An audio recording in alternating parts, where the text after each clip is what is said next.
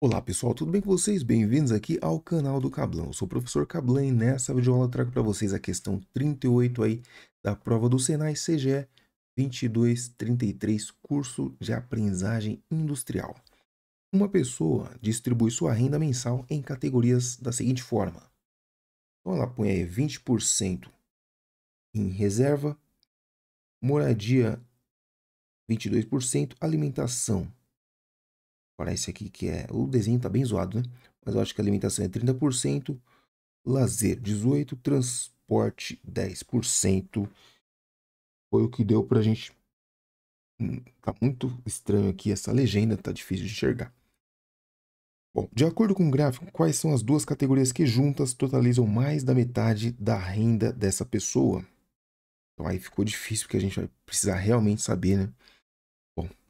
Vamos lá, vamos tentar identificar aqui, ó.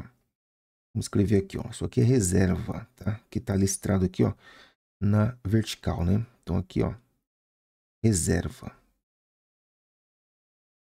Vamos por eliminação, não é isso? Moradia. Bom, aparentemente moradia vai ser 22%, aparentemente. Né? Alimentação é 30%. Então vamos ficar dessa forma aqui, tá realmente difícil de enxergar. Mas vamos aí tentar então, né? Vamos deixar dessa forma aqui. Alimentação e então esse aqui que está na horizontal é moradia, tá, pessoal? Moradia aí foi o que deu para enxergar aí. Bom, os dois que juntos totalizam mais que a metade é 52% moradia e alimentação alternativa B não tinha muito cálculo para fazer, só mesmo né, tentar decifrar essa legenda que está horrível de enxergar. Mas a questão 38, então, ficou alternativa B, alimentação e moradia. Questão bem rápida aí de porcentagem. Bom, 38, alternativa B.